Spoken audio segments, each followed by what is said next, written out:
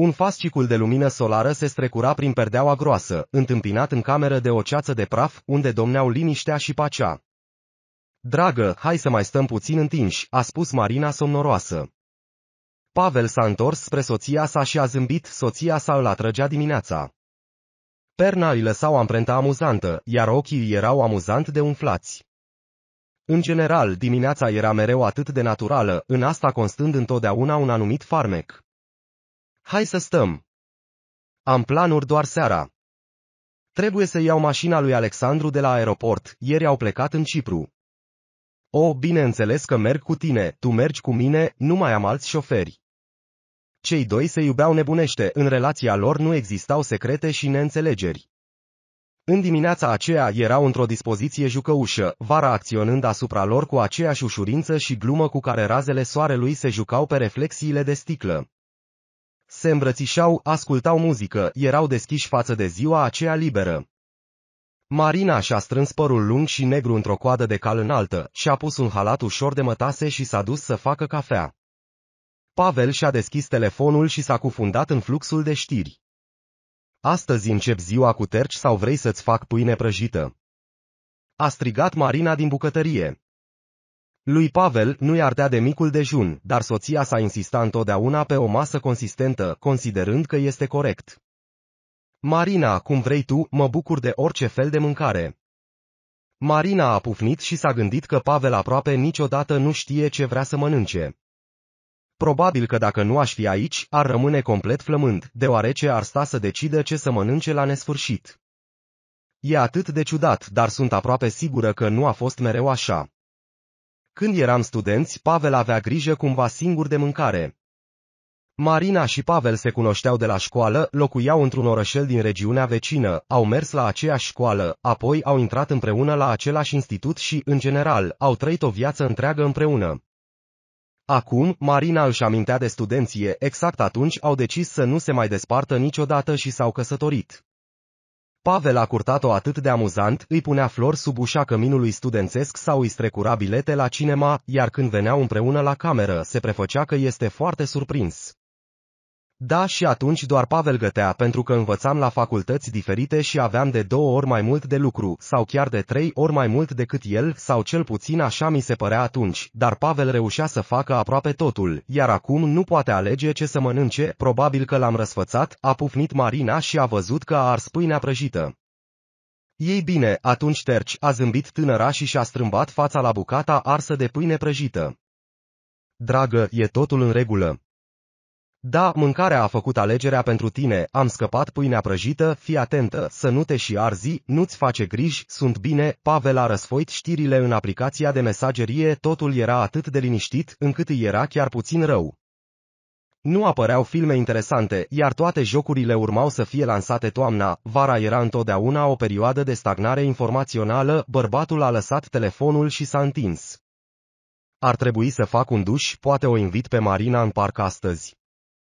E o vreme minunată, vom mânca înghețată, ne vom da cu rolele, i-a trecut prin minte un gând jucăuș. După duș, s-au așezat la micul dejun. Pavel și-a împărtășit ideea despre parc, iar Marina l-a susținut.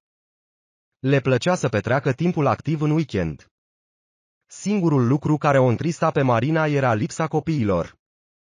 Mama Marinei îi suna în continuu, cerându-i nepoți, dar Pavel era de neclintit. El a muncit mult timp pentru a câștiga bani pentru apartamentul în care locuiesc și pentru a-și folosi energia și timpul pentru a asigura un confort minim altor oameni, nu era deloc pentru el.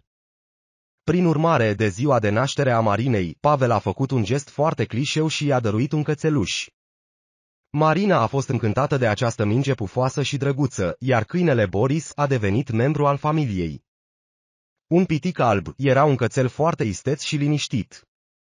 Marina a îngrijit animalul ca pe un om, i-a amenajat un colț propriu cu o pernă, a cumpărat un distribuitor automat de hrană pentru ca Boris să nu rămână niciodată flămând. Garderoba câinelui a fost umplută cu cele mai bune costume. Așa că în prezent, coada albă nu se despărțea de picioarele Marinei, ea se agita în bucătărie, iar Boris ataca papucii. Gata! Pleacă! A spus Marina sever. Dar el doar vrea să se joace. Ei bine, ne pregătim să mergem în parc. Marina a anticipat această zi. Îi plăcea să-și petreacă timpul cu soțul ei, chiar dacă au fost împreună aproape toată viața lor, numărul subiectelor de discuție nu scădea niciodată. Aproape întotdeauna vorbeau despre ceva, făceau multe glume și râdeau, păreau mai degrabă îndrăgostiți decât oameni care au fost căsătoriți de multe decenii. Marina a pus rufele în mașină, a pornit aspiratorul robot și s-a schimbat într-o rochie ușoară și aerisită cu flori. Aceasta îi sublinia frumos figura, astăzi îi plăcea cum arăta, ceva în aparența ei atrăgea și seducea. Pavel privea încântat soția sa, cu fiecare an, trăsăturile ei deveneau tot mai atrăgătoare. Stilul ei de gust, caracteristic acestei femei, îi mângâia orgoliul lui Pavel, el credea că ea era cea mai frumoasă femeie de pe pământ și că îi aparținea doar lui. De ce stai acolo încântată cu zâmbetul tău fermecător?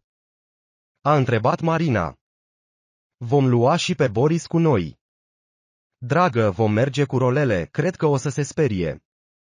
Da, probabil că ai dreptate. Marina l-a mângâiat pe câine pe ureche și a zâmbit. Atunci sunt gata. Au coborât la mașină și au plecat spre parc. Strada era plină de culori de vară.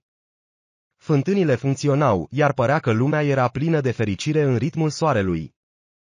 Cineva făcea baloane de săpun, copiii se bucurau, aplaudau, inima Marinei ardea de dragoste pentru această zi, pentru soțul ei, pentru viața ei. În momentul în care au parcat lângă intrare, telefonul lui Pavel a sunat, pe ecran a apărut mama lui. În ciuda relației calde cu soțul ei, relația lui Pavel cu mama lui nu a mers deloc bine. Viața lor în același oraș părea asemănătoare cu un serial ieftin, doar că cu aportul Irinei. Ea mereu făcea intrigi și era dispusă să facă orice pentru a-i despărți pe Marina și Pavel. Femeia nu avea motive obiective pentru antipatia ei față de Marina, pur și simplu nu îi plăcea. Marina își aminti cum Irina i-a pus lui Pavel haine de femeie în geantă. A fost prima dată când el a venit acasă de la institut. Intrigile soacrei nu erau nevinovate, dar Marina a rămas deasupra lor. Ea îi încredința soțului ei și nu lua în serios acțiunile ei. Pavel a ieșit din mașină pentru a răspunde la apel. Marina nu s-a grăbit. Știa că soțul ei avea nevoie de intimitate pentru astfel de apeluri, așa că doar se uita cu drag la soțul ei. Sprâncenele lui groase și bine conturate, barba ușoară, mâinile puternice, un fior i-a străbătut trupul Marinei, dar ea a continuat să-l privească pe soțul ei. Săptămâna trecută i-a cumpărat acea cămașă cu mânecă scurtă de culoarea albastrului de vișinie. Se potrivea perfect pe corpul ușor bronzat al lui, pantalonii scurți de blugi și adida și albi. Marina a crezut că dacă nu ar fi fost căsătoriți, cu siguranță s-ar fi dus să-l cunoască. La această gândire, Marina a râs în mod jucăuș, dar imediat și-a dat seama că ceva nu era în regulă și fața lui Pavel s-a schimbat foarte mult. Era evident că era foarte afectat de ceva. A încheiat apelul și a băgat telefonul în buzunar, dar nu s-a grăbit să se întoarcă către Marina. Ea nu știa la ce să se aștepte, pentru că evenimente tragice și triste în viața lor au fost aproape inexistente. Ce s-a întâmplat? Mama a spus că este foarte bolnavă. Ce i s-a întâmplat? De unde știe ea? A spus că a fost la oncolog. Au descoperit un tumor absolut malgnă.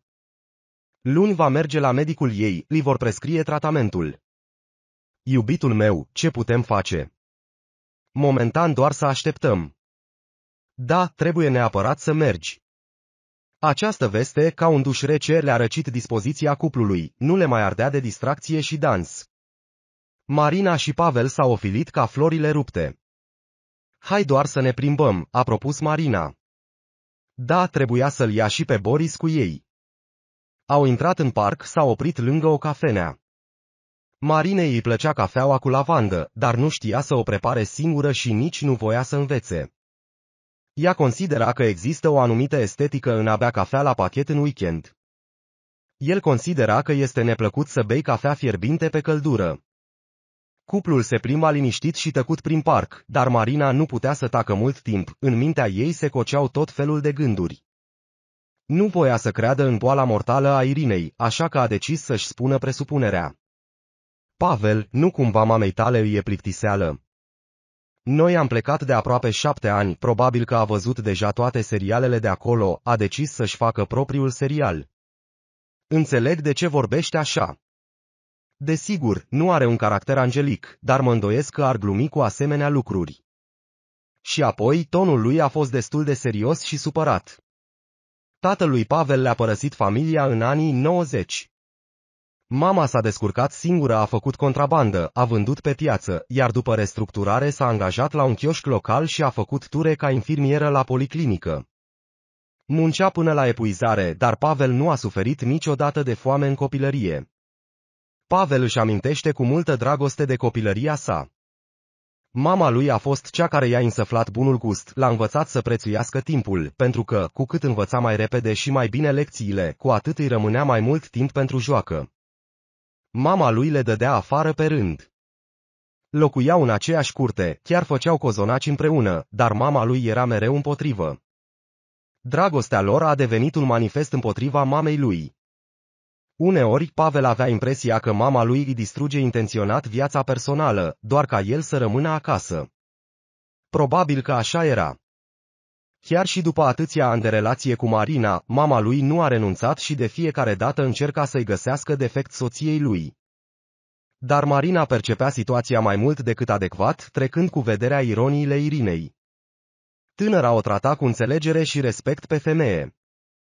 Probabil că pentru asta o iubea Pavel pe Marina, pentru combinația uimitoare de inteligență și frumusețe. Pavel și-a amintit și a reflectat mult timp la tot ce a fost în copilăria lui.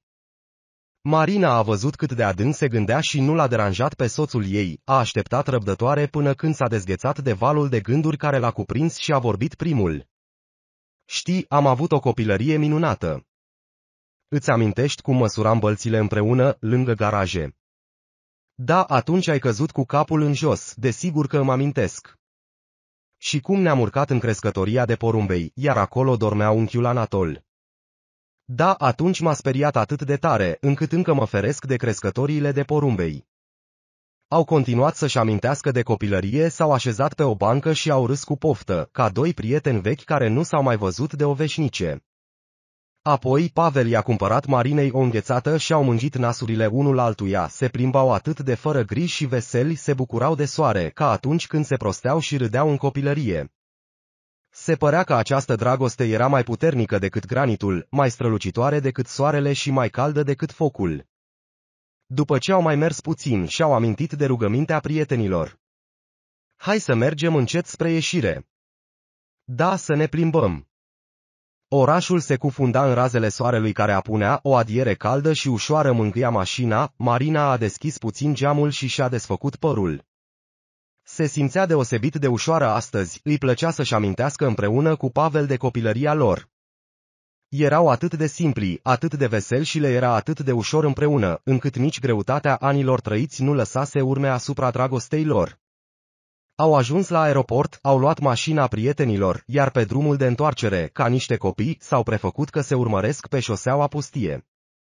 Acasă i-a întâmpinat Boris, câinele lor fericit, care părea că e gata să iasă din pielea lui de câine. Câinele își mișca coada într-un mod amuzant și se ridica pe picioarele din spate, tânjind după părinții lui umani. Pavel a pregătit câinele pentru plimbare, iar Marina s-a oferit să meargă cu ei. Pavel a legat lesa de o bancă, iar cuplul s-a așezat și s-a uitat la cerul nopții. În ciuda faptului că iluminatul orașului apăsa pe mantia neagră a nopții, stelele strălucitoare se vedeau printre felinare și se arătau curioșilor. Se părea că cei doi își spuseseră deja tot, dar continuau să vorbească. De-a lungul anilor petrecuți împreună, au dezvoltat obiceiuri și maniere comune, chiar și gesturi ca niște gemeni. Așa a continuat până luni. Pavel lucra la o companie metalurgică pe o funcție de nivel mediu. Marina era contabilă. Amândoi aveau salarii medii la o instituție bugetară, dar erau mulțumiți de ele, locurile lor de muncă nu implicau niciun risc, erau locuri de muncă stabile și liniștite. Niciunul dintre ei nu-și scotea din minte telefonul de la mamă. Pavel era nerăbdător să afle mai repede rezultatele investigației și planul de tratament. Era foarte îngrijorat. Marina vedea foarte bine chinurile soțului ei și încerca să-l susțină, dar, sinceră să fie, era la fel de îngrijorată. Înțelegea că, dacă se întâmpla ceva ireparabil, Pavel avea să fie distrus. Pavel a sunat-o pe mama lui de la serviciu, dar era încă prea devreme. Irina abia se pregătea să meargă la spital. Marina trimitea mesaje cu întrebări. Toți erau la limita răbdării. Orele de lucru treceau foarte greu. În cele din urmă, Aculorar a ajuns la ora cearea 12 și funcționarii au plecat în pauza de prânz. L-a întrebat un coleg. Nu, mergeți fără mine, a dat Pavel din mână, cu voce scăzută. Era nerăbdător să iasă cât mai repede din birou. A doua, a treia a urcat în fugă treptele, formând în același timp numărul de telefon al mamei sale. Alo, mamă! Da, fiul meu. Mamă, ai fost deja la medic. Da, am fost. Ce ți-au spus? Sunt foarte bolnavă. Am înțeles asta încă de sâmbătă, a spus Pavel cu o oarecare iritare. Stai așa, dăm numărul medicului tău, o să aflu eu totul. Femeia a început să plângă încet, își ascunsese sentimentele până la capăt, înțelegând că pentru fiul ei era o lovitură, dar emoțiile au luat-o pe sus. Dar lui Pavel îi tremurau mâinile, corpul îi amorțea, lacrimile îi veneau, în gât îi se forma un nod, totul era atât de greșit, îi se părea că lumea aceasta era nedreaptă și greșită, trebuia să vorbească cu Marina. Alo, salut! Pavel nu a început imediat conversația, trebuia să audă vocea soției sale. Ușurința ei îl punea întotdeauna într-o dispoziție specială, era suficient doar să o asculte sau să se uite la ea și totul devenea mai simplu și mai clar. Marina. Da, ce s-a întâmplat? Mama. Ați vorbit, ce e acolo? Bine, înțeleg că știi deja totul, dar există întotdeauna o șansă la ceva mai bun. Da, știu. Ei bine, înseamnă că ne vom gândi cum să o ajutăm să nu treacă singură prin asta. Da, Marina, mulțumesc, o să te sun mai târziu. Bine, hai, nu te descuraja, o să fie bine. Pavel a închis telefonul, a primit un mesaj de la mama lui, nu voia să sune și să vorbească cu medicul, în general nu voia să știe că ceva nu e în regulă cu mama lui. În lumea lui confortabilă nu exista durere, Marina era mereu îngrijorată de el și în lumea lui existau doar liniște și iubire, tot ce nu era în plan și cu durere îl traumatiza foarte tare, ca și cum niște mâini puternice îl scoteau din carapace. N-avea ce face, pauza de prânz se apropia de sfârșit, trebuia să sune. S-a uitat surprins la receptorul telefonului, ca și cum cineva l-ar fi înjurat. A format din nou numărul, apoi încă o dată. Asta l-a înfuriat pe Pavel.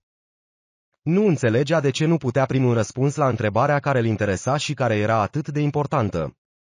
În cele din urmă s-a stabilit contactul și durata semnalelor a crescut. Da, vă ascult. La celălalt capăt s-a auzit o voce de bărbat în vârstă, atât de insinuantă. Da, vă ascult. Înțelegeți, eu sunt fiul ei. Felicitări, mama dumneavoastră este o femeie excelentă. Da, mi-a spus că urmează să facă un tratament. Scuzați-mă, dar nu știu aproape nimic despre această boală. Cu ce o pot ajuta pe mama? Ah, tinere, mama dumneavoastră urmează să treacă printr-un drum lung, greu și dureros. Este important să nu vă pierdeți pe dumneavoastră, să nu o îngropați înainte de vreme, să fiți alături de ea și să o susțineți. Dar, cel mai probabil, va avea nevoie și de îngrijire. Obligatoriu. Mulțumesc, dar mai pot face ceva. Pentru mine. S-a mirat doctorul. Bine, vă mulțumesc, domnul doctor. Apelați-mă. Pavel a închis telefonul și s-a așezat pe marginea unui gard scund. Gândurile îi erau încurcate. Voia să facă ceva deja chiar acum, ca să devină mai ușor și mai simplu, dar deocamdată era prea devreme ca să schimbe și să decide ceva. A sunat-o din nou pe Marina, i-a transmis cuvintele doctorului. Marina a reacționat într-un mod ciudat. A înțeles imediat că mutarea la mama sa era inevitabilă și a înțeles că asta nu prevestea nimic bun. Desigur, este important să ajuți o persoană apropiată la greu, mai ales într-o situație atât de dificilă. Dar de asemenea și-a imaginat-o pe Irina plimbându-se prin apartamentul lor cu remarci ironice și usturătoare și i s-a făcut rău. Pavel nu mai vorbi atât de mult. Vom găsi o soluție. Hai să vorbim seara. Sunt ocupată. Da, da, hai. Bine. Prânzul se terminase, a mai aprins o țigară și a mers spre parc. A fost șocat de tot ce se întâmpla, dezorientat și deprimat. Ce să facă acum? Marina nu va fi de acord niciodată să o aducă pe mama sa la noi și cine va rămâne cu ea.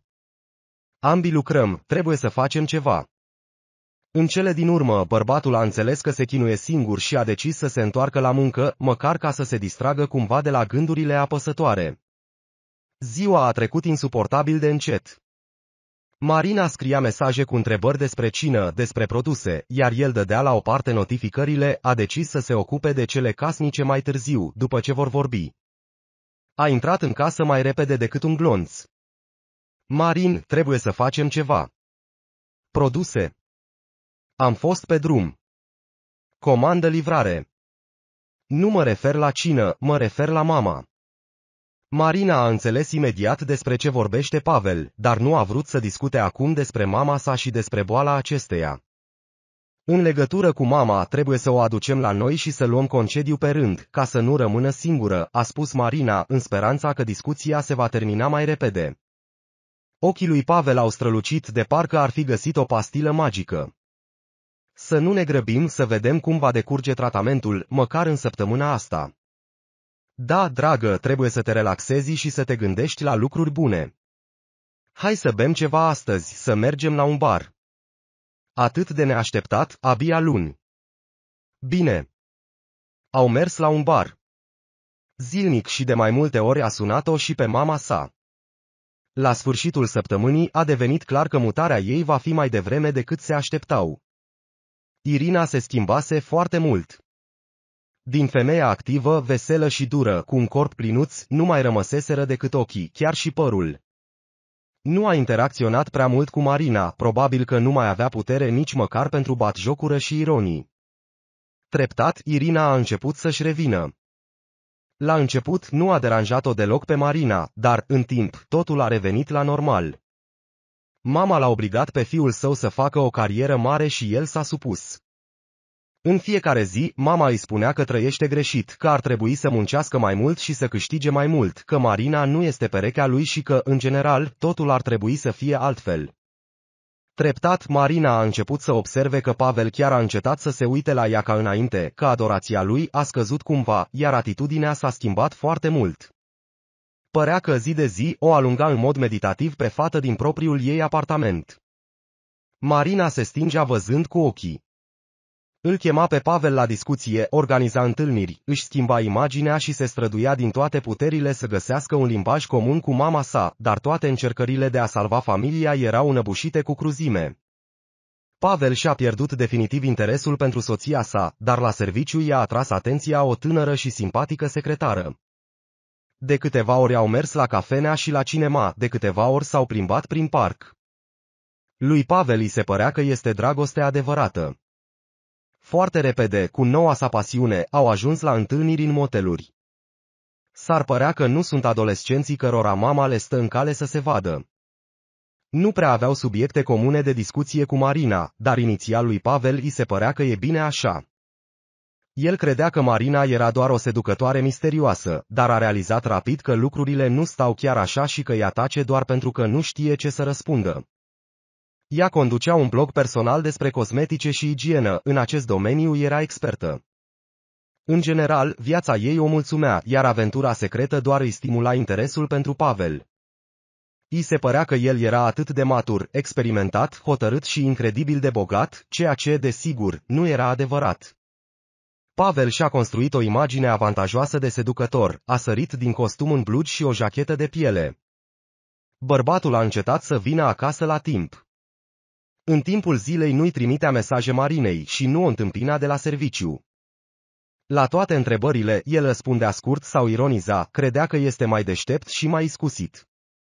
Salariul său a crescut de mai multe ori, în câteva luni la noul loc de muncă a ajuns rapid la o poziție înaltă și pe lângă bani a obținut și putere, ceea ce și-a pus amprenta negativă asupra caracterului său plus mama mereu provocatoare care insista asupra divorțului dintre Marina și Pavel, de parcă ar fi avut dreptate în tot. Acest lucru nu putea continua mult timp, în cele din urmă lui Pavel i s-a făcut greu să se ascundă, deși gândul că și Marinei i s-a făcut deja greu îi tot trecea prin minte. El nu știa cu adevărat ce își dorește, era supărat pe Marina, pe Marina și chiar uneori pe mama. I se părea că toate femeile din jurul lui erau vinovate pentru viața lui. Marina a văzut și a înțeles că totul se destramă în fața ochilor ei, că viața ei anterioară nu va mai fi niciodată la fel. A început să se gândească la mutare și la stabilirea unei vieți separate. I-a fost greu să-și dea seama că lumea ei se poate prăbuși atât de ușor, că toți acești ani petrecuți împreună nu însemnau nimic. A pregătit cină, a cumpărat vinul preferat al lui Pavel și l-a trimis pe mama lui la teatru. Marina nu bănuia încă că familia pe care o avea nu mai exista și, cel mai probabil, nu va mai exista vreodată. În acest timp, Pavel nu doar și-a schimbat locul de muncă, ci s-a schimbat și el însuși. Părea că influența toxică a mamei a ars tot ce era uman în el. Pe măsură ce relația lui cu Marina se dezvolta, el se plictisea tot mai mult de Marina. În mintea lui, la fel ca și în mintea Marinei, apăruseră gânduri despre divorț, dar acestea nu erau doar gânduri, ci gânduri de dimensiuni elefantice. El își imagina conversația dintre ei, cum ea plânge, cum îi aruncă lucrurile, statuta de pe masă și câteva farfurii. El se temea enorm de scandal. I-a fost greu să facă primul pas sau să recunoască că a greșit. Pavel se enerva pe el însuși pentru tot ce se întâmpla în viața lui. Înțelegea că ceva nu era în regulă. Când a văzut testul pozitiv, nu i-a venit să creadă Marinei. În timpul pauzei de prânz s-a apropiat de ea cu o față serioasă. Ce glume sunt astea? E foarte serios. Nu poate fi adevărat. Tu ai deschis fotografia, ai văzut. Ai fost deja la doctor. Nu, am făcut doar testul până acum. Deci, seara vom merge la clinică. Făți un test de sarcină. Poate ești doar bolnavă. Fata a râs. Bolnavă. Cu ce? Marina nu se putea opri din râs. Hai, oprește-te să râzi. Pavel s-a enervat. Ce fac acum? Într-o secundă, Marina și-a pierdut întreaga sa seducție și farmec. Într-un minut, ea începuse să-l irite teribil. A ieșit din birou, s-a urcat în mașină și a aprins o țigară. Și acum ce să fac? Trebuie să rezolv cumva această sarcină a ei. Unde îmi voi pune copiii? Și cum îi voi spune Marinei? Drăcie, totul e greșit. Pavel a sunat-o pe mama lui. Salut, fiul meu! De ce sun? Nu ți-am spus, a început să băigeuie, pentru că nici nu putea să-și închipuie de unde să înceapă. Ce s-a întâmplat? Oh, Pavel! Și ești sigur că e al tău? Da, nu sunt sigur de nimic, mamă. Ei bine, atunci verifică totul și apoi ne mai gândim. Nu-i spune nimic Marinei, altfel te lasă baltă, prost ce ești deși, poate că ar fi mai bine fără ea. Ei, de ce tot zici așa, mamă? Da, mamă, ești un bărbat adult, iar mătușa. Haide, adună-te, du-o pe ata cum o cheamă, ah, da, cum o cheamă măcar. Marina, da, du-o pe Marina ta la spital și apoi vedem ce facem. Da, ai dreptate, bine. Pavel a închis telefonul și s-a uitat la ecranul aprins al telefonului. Și dacă ar suna-o chiar acum pe Marina și i-ar spune totul, ce ar face ea? Iar dacă Marina nu e însărcinată? Iar dacă nu e de la mine? În minte îi roiau gândurile, unul întrerupându-le pe celălalt. Și-a frecat părul, a trecut mâna peste bordul mașinii și a decis să se plimbe, a căutat în navigator cele mai apropiate clinici și a plecat spre una dintre ele. La intrare l-a întâmpinat o tânără strictă, dar drăguță. Bună ziua, ați venit la programare. Tânăra s-a uitat la Pavel cu nedumerire. La ginecolog. Ah, acum specialiștii sunt ocupați, vă pot programa astăzi seara. Haideți! La ora 17 fără 20 e bine. 17 și 30. Pavel s-a grăbit să plece din spital, dar apoi l-a strigat o voce de femeie. Pavel, salut, ești tu. Ah, salut, Elena, da. Ce s-a întâmplat? Marina e însărcinată sau s-a întâmplat ceva? Nu, nu, am venit pentru altceva. Ah, înțeleg, hai, ieșim puțin. Pavel a transpirat rece. Nu se aștepta să o întâlnească pe Elena la spital.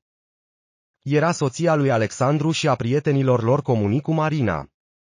Nu mai ținuseră legătura de multă vreme, probabil de când Irina se mutase la ei. Ei, ce mai faceți? Elena se uita la Pavel cu ochii ei mari, atenți. Da, știi, s-au învârtit toate. Ne-am învârtit, mi-am schimbat locul de muncă.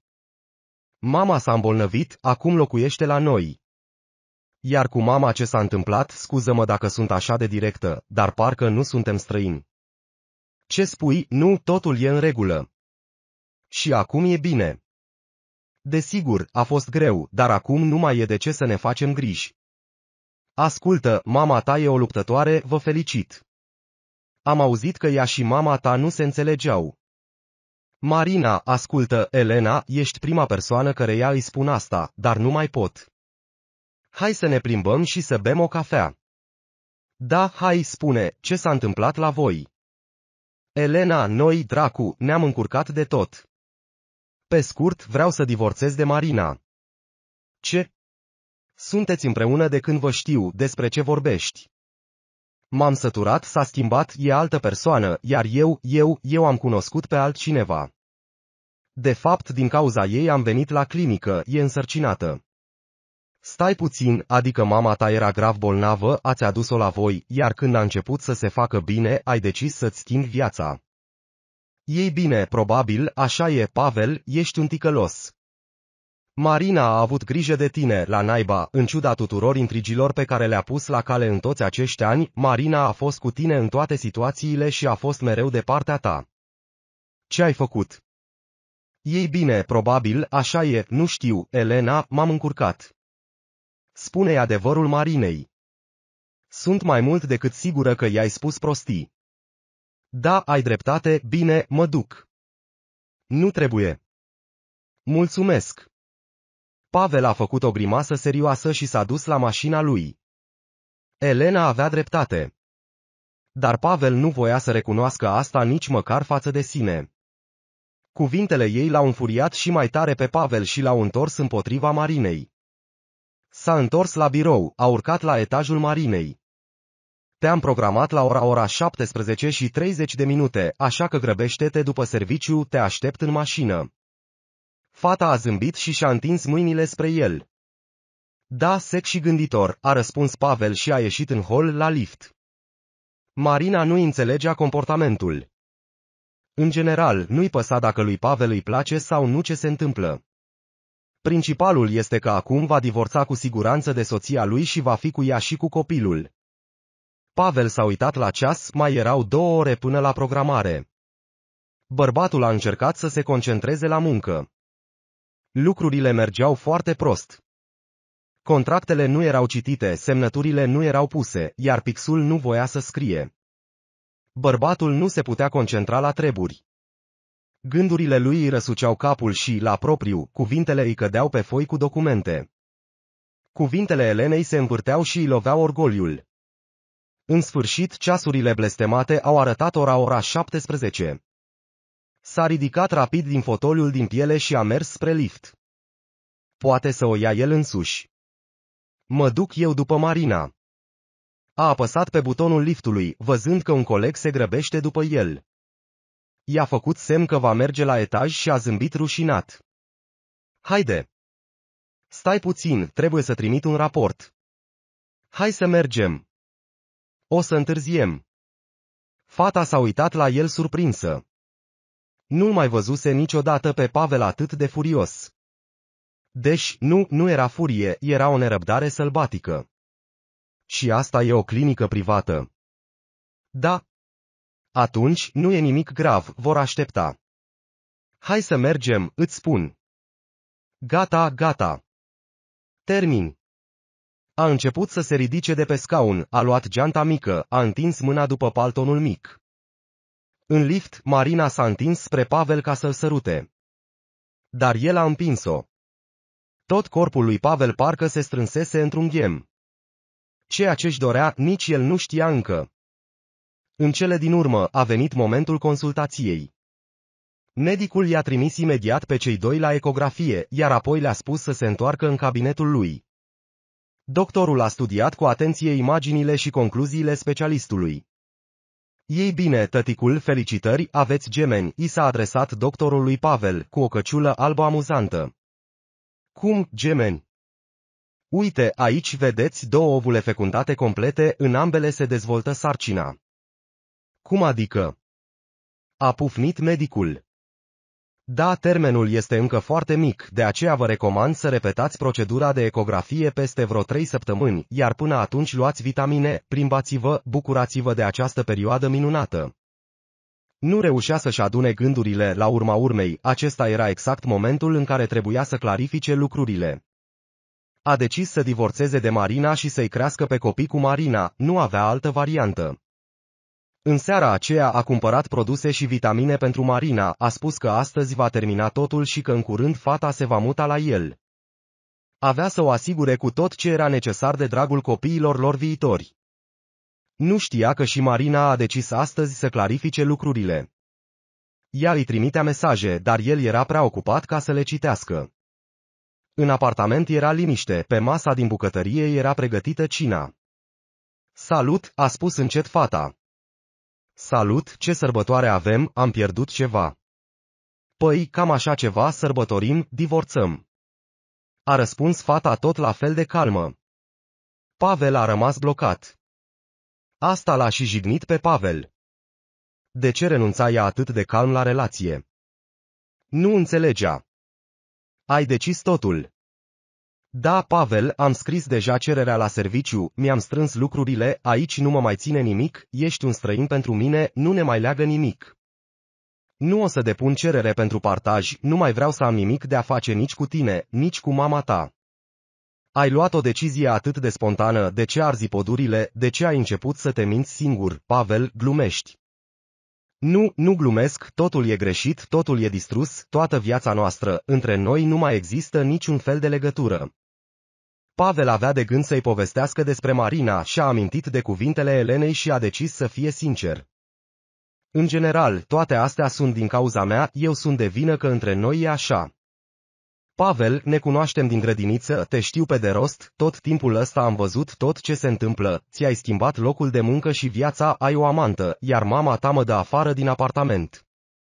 Fața lui Pavel s-a alungit și ochii i s-au mărit. Cum, de unde, cine ți-a spus? A exclamat bărbatul surprins. Termină odată, nu sunt oarbă și nici surdă, nu mai face din mine o proastă, s-a enervat Marina.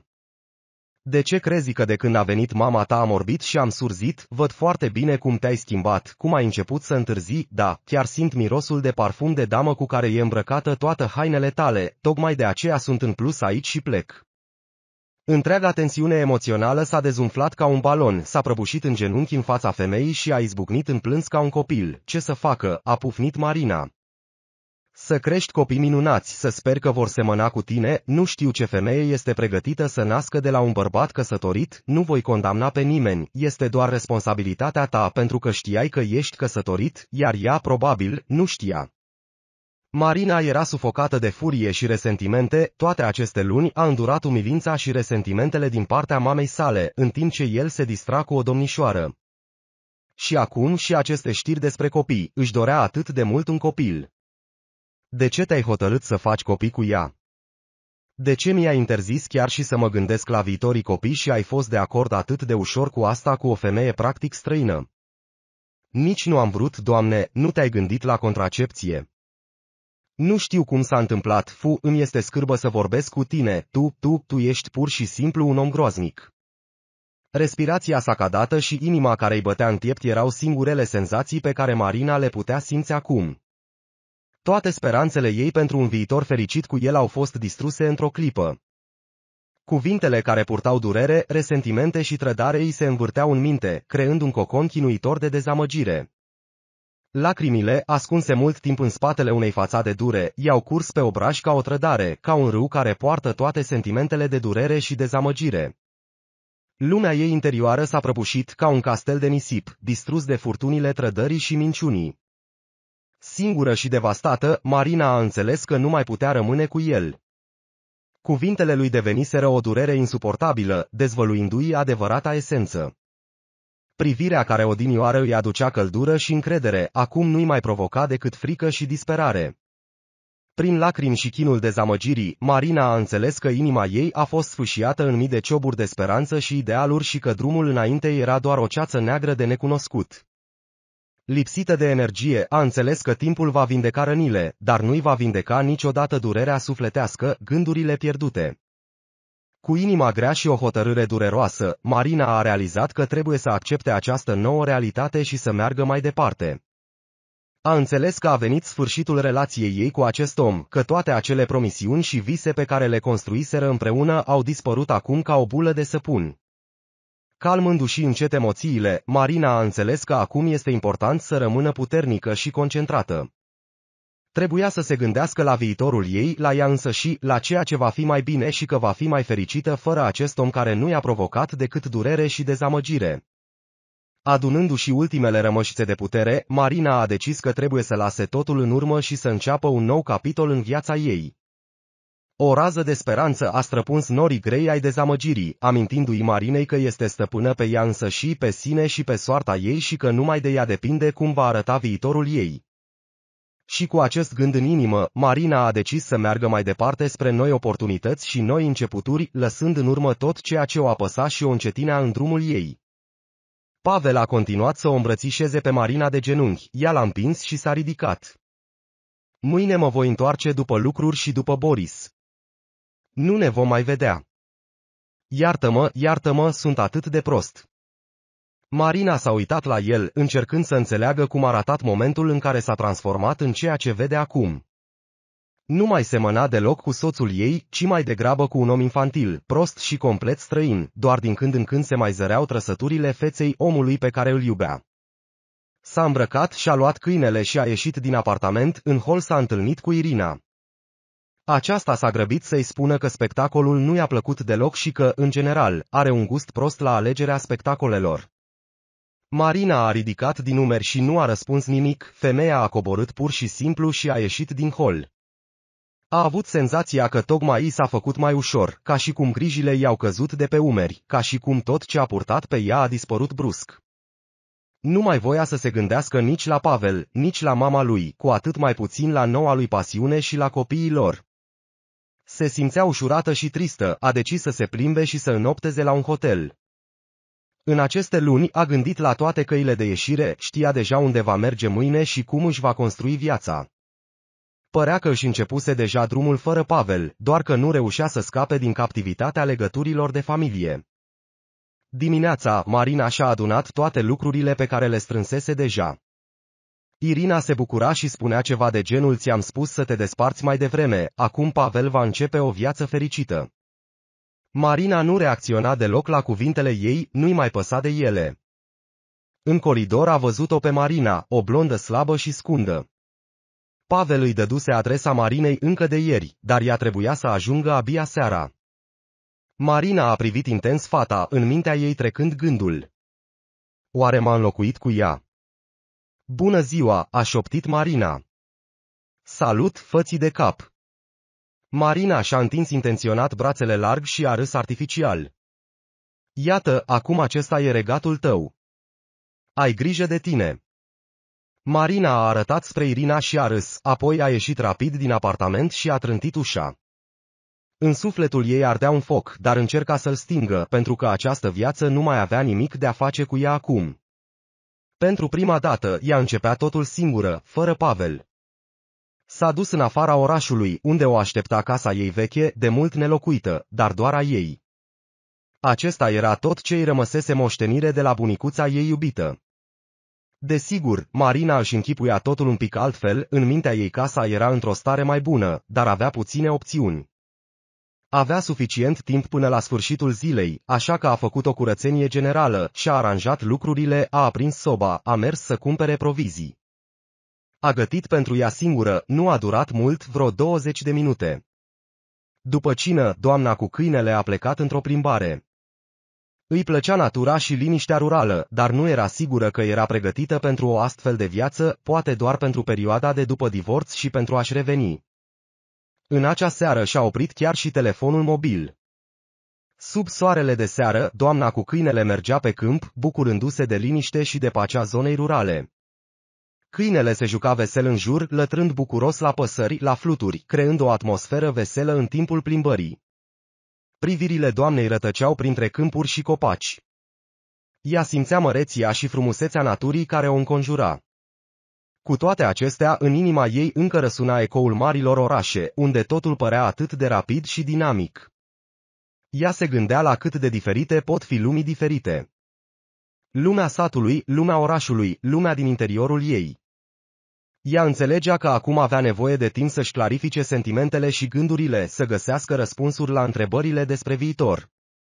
Liniștea serii a făcut-o să se gândească că, poate, în acest loc izolat, ea ar putea găsi răspunsuri la întrebările sale interioare. Oprimându-și telefonul mobil, Marina a decis să se izoleze pentru o vreme de lumea exterioară, pentru a-și pondera liniștit emoțiile și deciziile. Astfel, pas cu pas, au continuat plimbarea lor la apusul zilei, amândoi bucurându-se de momentele de liniște și pace pe care le oferea natura. În acea seară, ea a simțit că viața de la țară poate fi ceva frumos, chiar vindecător, dar momentan nu era pregătită să renunțe complet la agitația orașului. Marina s-a asigurat din timp că are bani și a pus deoparte o sumă mică pentru o viață liniștită, dar nu putea continua mult așa. Trebuia să caute o soluție pentru a lucra de acasă. Pe măsură ce trecea timpul, Marina a început să aprecieze tot mai mult avantajele izolării în sat. Liniștea și pacea au devenit un dar prețios pentru ea, iar ea simțea că sufletul ei găsea aici liniștea. Să fii singur cu natura, să te bucuri de momente fără agitație și zgomot, toate acestea îi aduceau liniște interioară.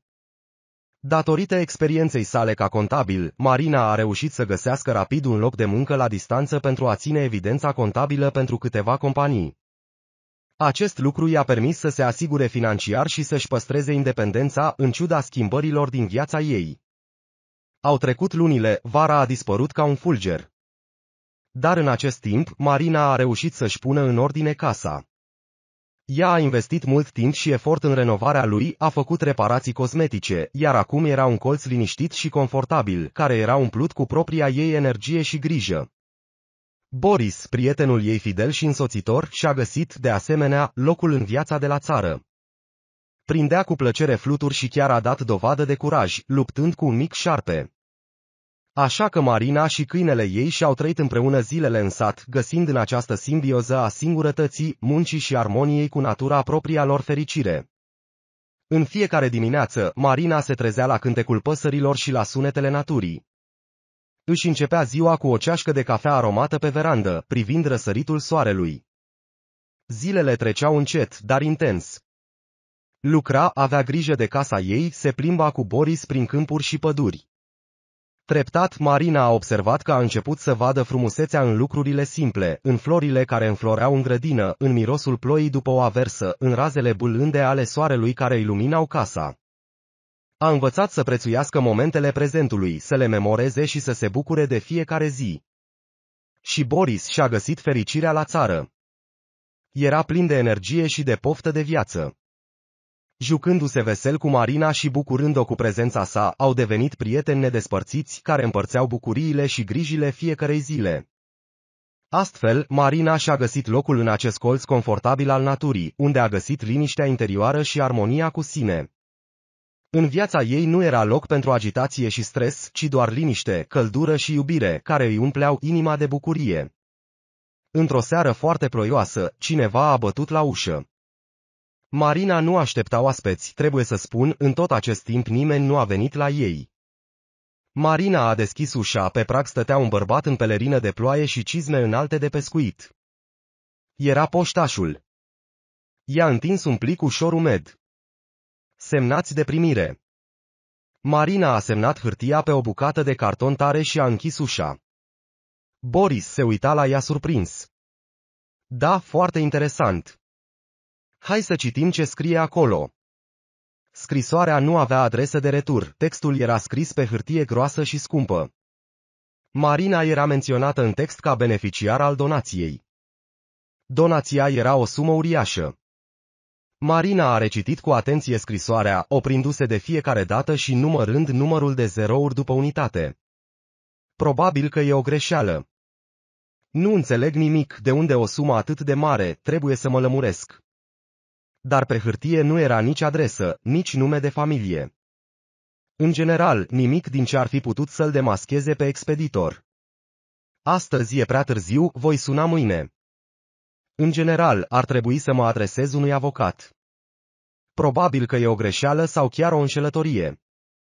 A doua zi, Marina a plecat în reședința de județ.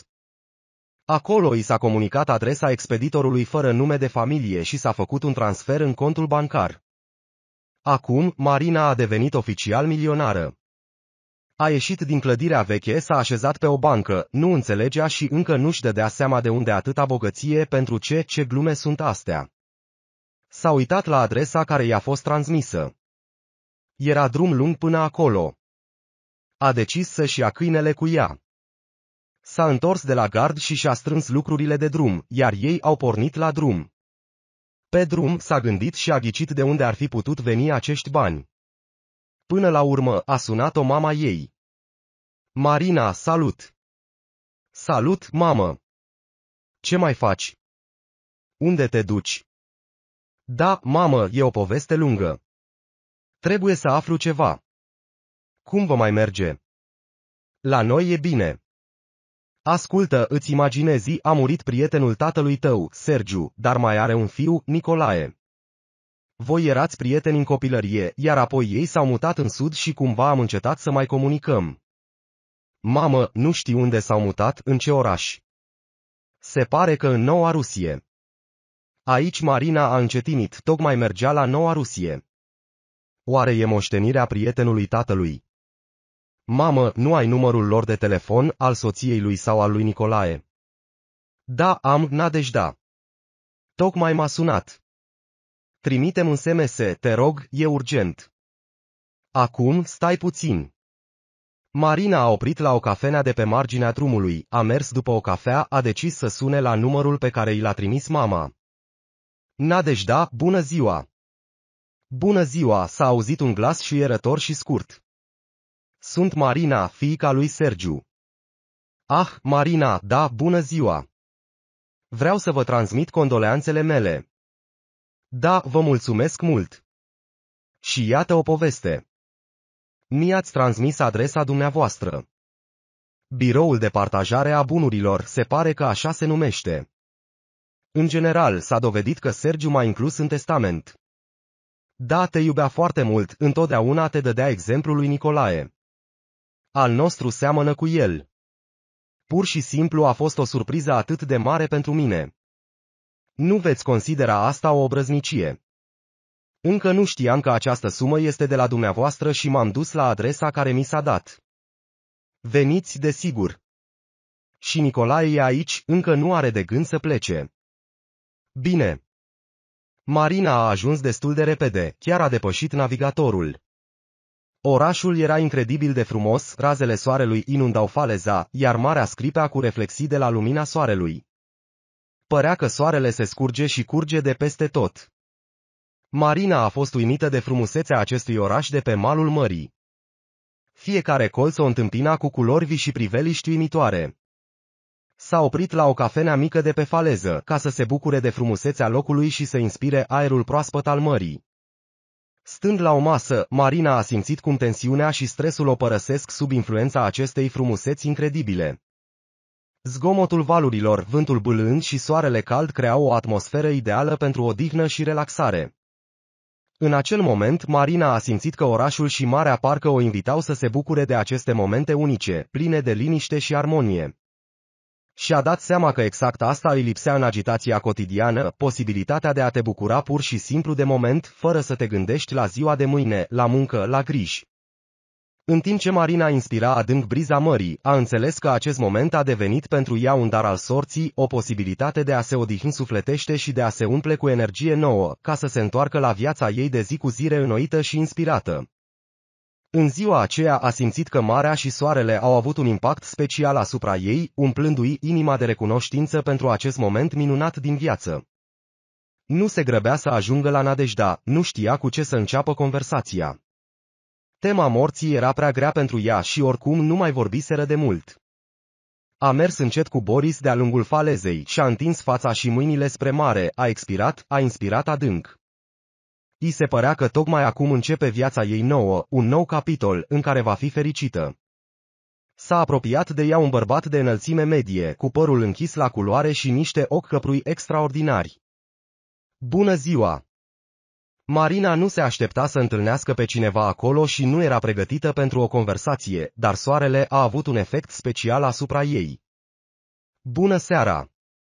Probabil că ați venit recent. Da. Sinceră să fiu, tocmai am sosit.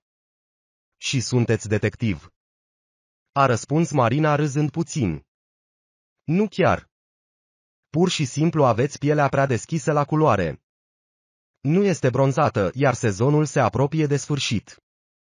Exact. La asta nu m-am gândit. Marina, nu mai recunoscut. Marina a deschis ochii mari, a început să-i studieze fața bărbatului și abia apoi a înțeles că în fața ei era Nicolae. Vai, nu te-am recunoscut deloc, te-ai schimbat foarte mult, nu-i așa? Dar eu te-am recunoscut imediat. Tu deloc. Îmi place să vin aici. Marea este locul meu de putere. Da, este extraordinar aici. Nicolae primește condoleanțele mele pentru tatăl tău. A fost un om bun. Mulțumesc. Nicolae a tăcut, s-a întors și a mers de-a lungul țărmului. Marina a mers după el, s-a lăsat o tăcere stânjenitoare. Marina nu știa deloc cum să se comporte în astfel de momente. Marina, de cât timp nu ne-am văzut. Zece ani. Da, poate chiar mai mult. Se poate spune că facem cunoștință cu o persoană nouă. Da, probabil. Celulele corpului se reînnoiesc complet odată la șapte ani. Știai. Nicolae, ce fapte științifice sunt astea? Nu știu, pur și simplu mi-am amintit. Ascultă, mama ne așteaptă acolo. Hai să mergem.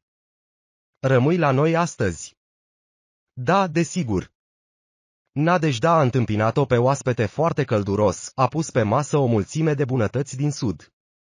Au stat mult, au vorbit și au amintit de Sergiu, au cântat cântece, au plâns. A fost o seară frumoasă. Marinei i-a fost bine în compania lor, chiar dacă motivul era unul atât de trist. Dimineața, ea și Nicolae au mers la mare și s-au scăldat. Boris a prins cu veselie stropi, a lătrat la pescăruși. Totul era atât de natural, ca în copilărie. Le-a fost foarte vesel împreună, ca și cum ar fi avut din nou câte cinci ani. Ziua a trecut fulgerător. Marina a început să se pregătească de întoarcere, dar Nicolae a oprit-o. Marina, poate mai stai cu noi încă două zile.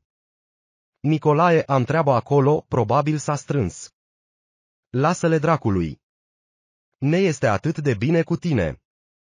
Mama este foarte bucuroasă de tine. Da, mi-ar plăcea foarte mult să mai stau puțin. Atunci e stabilit. Vrei să-ți arăt Marea Neagră? Marea Neagră. S-a mirat Marina. Da, te invit în seara asta la o întâlnire. Dar nu am rochie și nici haine de ocazie. Și nu-ți trebuie. Vom merge la munte. Bine, a răspuns fata la fel de mirată. A petrecut ziua lenevind. A mers cu Boris la mare, s-a plimbat, a cumpărat un pachet de vin local, raci. În seara aceea, Marina a hotărât să gătească ea cina. A pus masa, i-a chemat pe Nadejda și pe Nicolae. Marina, ești o gospodină extraordinară. Este totul foarte gustos, a lăudat-o femeia pe Marina. Marina s-a rușinat foarte tare. Cuvintele Nadejdei erau o noutate pentru ea. Marina, ești gata de călătorie? Da, a răspuns fata intrigată. Bine, atunci peste o jumătate de oră vin după tine. Nicolae a pus farfuria în chiuvetă, a sărutat-o pe mama sa pe obraz și a ieșit din casă. Vremea era minunată.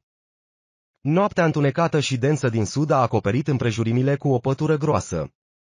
Stelele se așezau în ciorchimii pe acoperișurile caselor, mirosul de căldură și de soare se revărsa pe străduțe. Marina se simțea ca o fetiță mică, de parcă ar fi fost în ajunul zilei de naștere și ar fi fost pe cale să primească darul dorit. Totul înăuntrul ei tremura și jubila. Stătea pe o bancă în curtea casei, când s-a întors Nicolae, a luat-o de mână, a condus-o la mașină, ca un gentleman i-a deschis portiera și a așezat-o pe scaunul pasagerului. Acum îți voi arăta locul meu secret. Când ne-am mutat aici cu părinții, l-am găsit din întâmplare, iar apoi îmi plăcea să fug aici.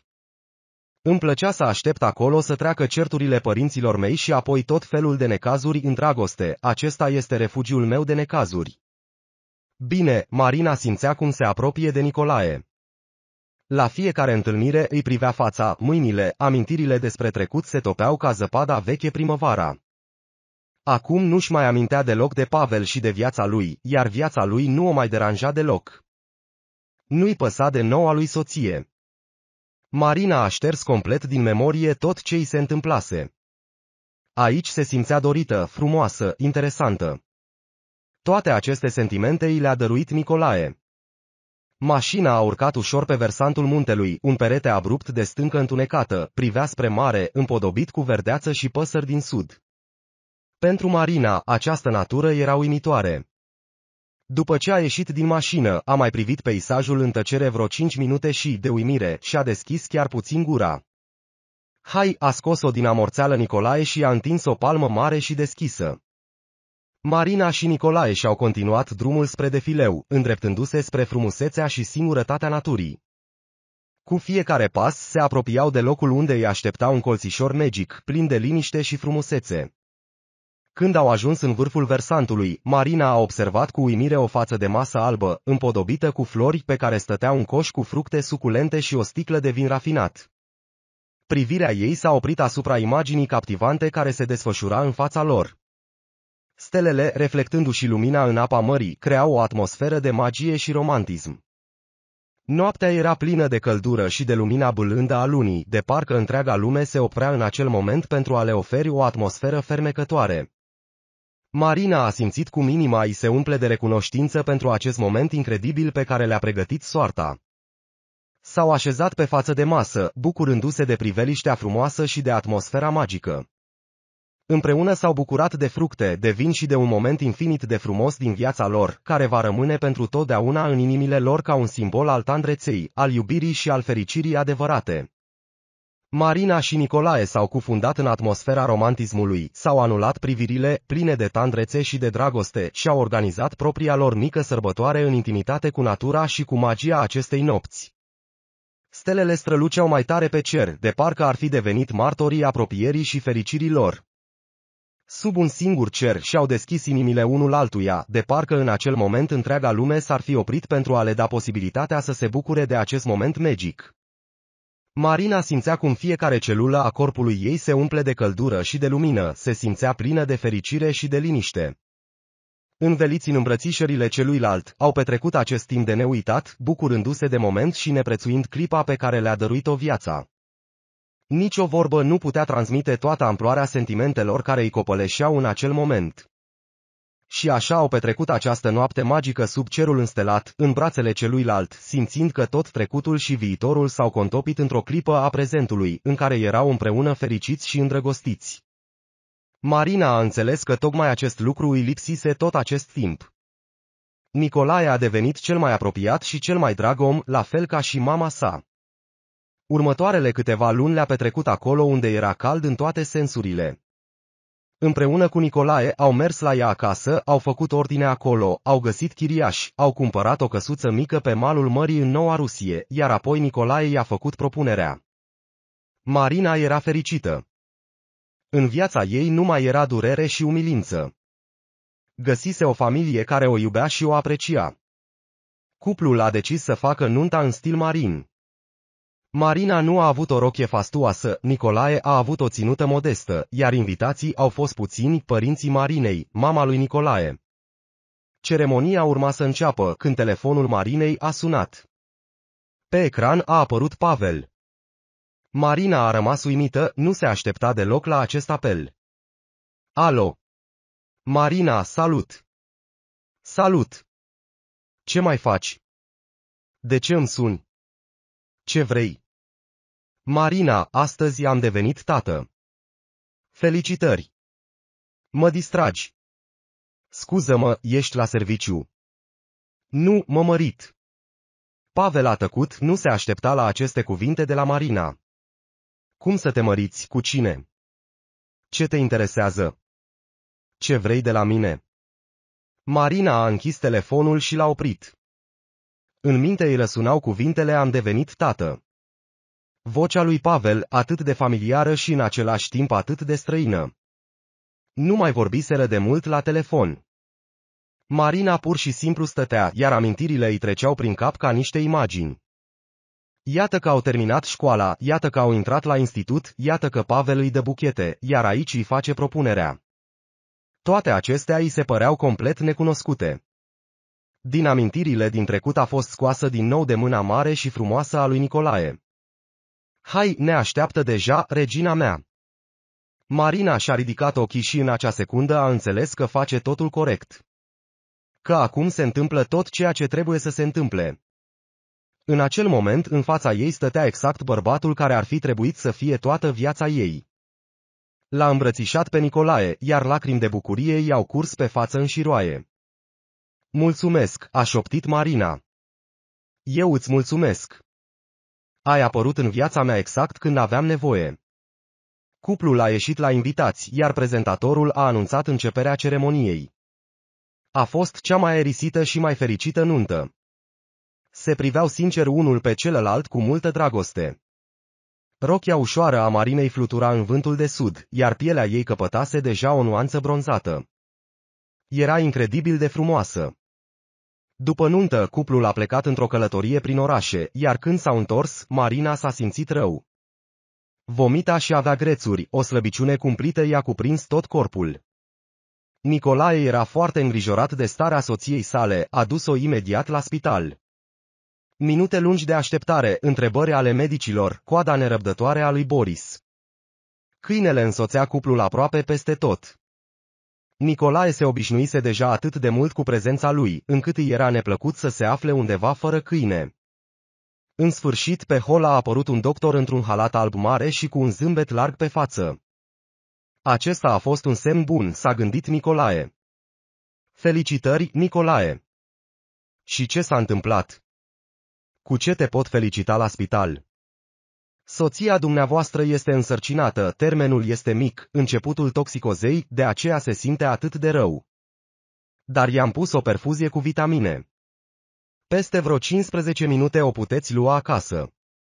Dar mâine să veniți neapărat să faceți un control medical. Însărcinată. Nicolae și-a ridicat ochii spre doctor. Erau plini de lacrimi, erau lacrimi de fericire. Marina este însărcinată. Voi avea un copil. Acest gând nu încăpea în cap. Spuneți că 15 minute. Da. Nicolae a ieșit repede din camera de gardă. În cel mai apropiat magazin de flori a cumpărat un buchet imens de flori, era copăleșit de sentimente, era incredibil de fericit. Când s-a întors, Marina stătea la ieșirea din policlinică, plângea. Nicolae i-a dăruit Marinei buchetul care iradia prospețime și tandrețe. Ridicând-o în brațe, a început să o învârtă vesel în dans, ca și cum ar fi spus ești bucuria mea, dragostea mea și destinul meu.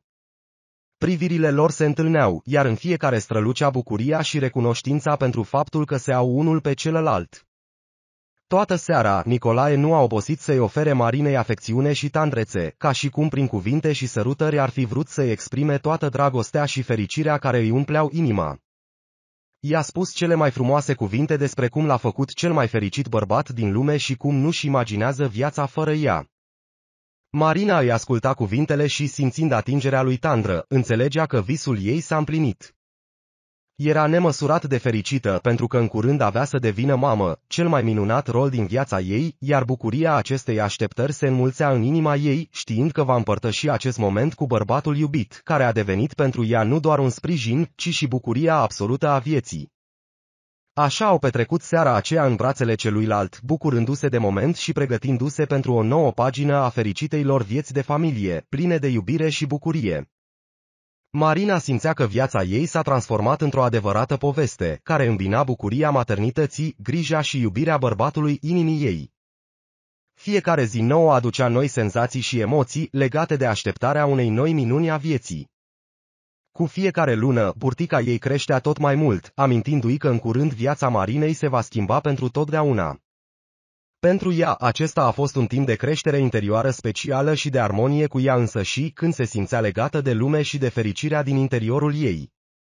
Boris nu se dezlipea de Marina, ca și cum ar fi simțit importanța rolului său în protejarea și susținerea viitoarei mame. Atenția și grija lui Nicolae o înconjurau, creând o atmosferă de siguranță și liniște. El a devenit un sprijin de nădejde, mereu gata să-i cedeze locul, să o susțină și pur și simplu să-i asculte sentimentele. Simțea fiecare suspin al ei, fiecare mișcare a micului făt și se bucura de această minune din interiorul ei. Aplecându-se spre burtica ei, șoptea cuvinte tandre și vorbea cu dragoste despre visele lui de fericire familială, așa, înconjurată de grija și iubirea soțului și a câinelui devotat, Marina se simțea plină de fericire și recunoștință pentru fiecare moment al acestui timp magic. Știa că viitorul ei este plin de bucurie și iubire nemărginită, pentru că era înconjurată de inimii atât de devotate și grijulii. În ziua în care Marina a născut un băiețel, Nicolae a lansat un foc de artificii festiv, iar după externare a întâmpinat-o cu copilul într-o limuzină. În timp ce Marina era internată în spital, Nicolae a făcut reparații în camera copilului, a avut grijă de fiecare detaliu pentru micuț.